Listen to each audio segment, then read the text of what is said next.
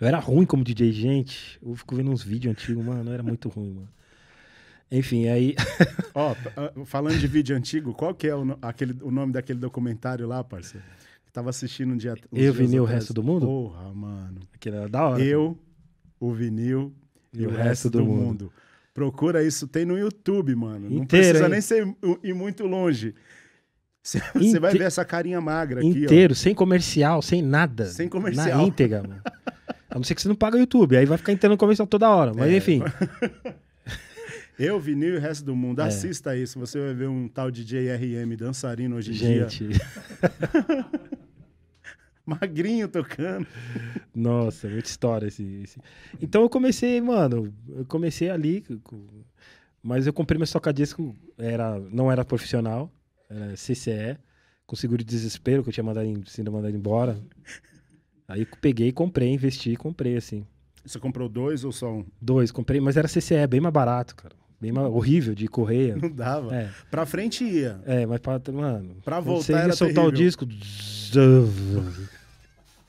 meio morrendo o disco. Você já tinha que soltar rodando assim, ó. É, Você mano. mesmo já É. colocar no tempo. E eu esmirilhei, eu, eu aprendi.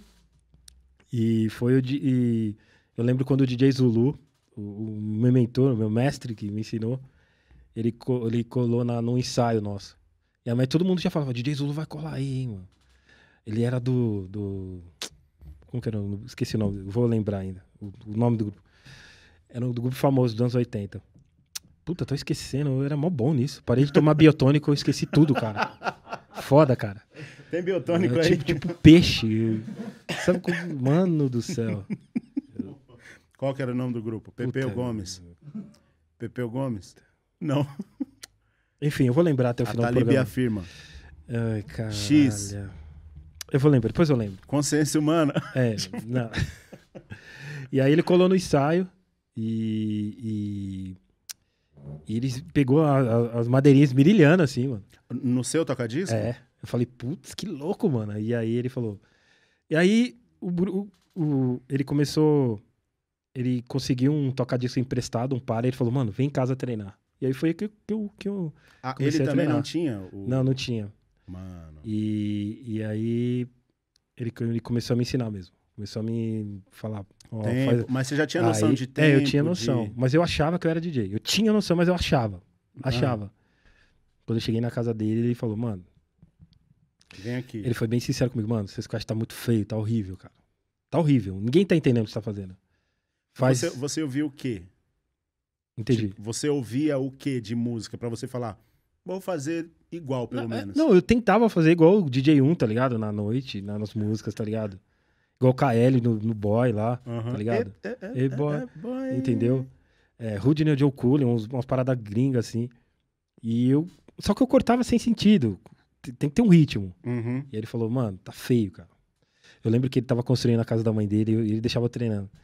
E eu achando que tava apavorando, aí ele descia lá da casa, lá de cima. Lá. Mano, ele para o som. Mano, tá feio, cara. Senta aí, vamos conversar aí, tá feio. Não tá entendendo o que você tá fazendo. E aí ele foi me ensinando tudo de novo. Eu tive que deixar costumes e começar do zero. Essa é humildade pra, pra aprender do zero mesmo. Não ficar me achando, porque. É, porque se você É. fosse, você ia bater o carro É, rapidinho. não, e já era, né? não Pô. ia ser um DJ mesmo É, hoje em dia. exatamente. Então você tem que. Determinadas situações você tem que saber baixar a cabeça mesmo e ter a humildade de voltar pra trás, pra deixar tudo. Mano, vamos começar do zero. Eu fiz isso. Isso aí me ajudou demais, porque aí eu fui entendendo, fui aprendendo a mixar melhor, Construir fui melhor. construir melhor, entendeu? E aí isso me ajudou nos grupos de rap.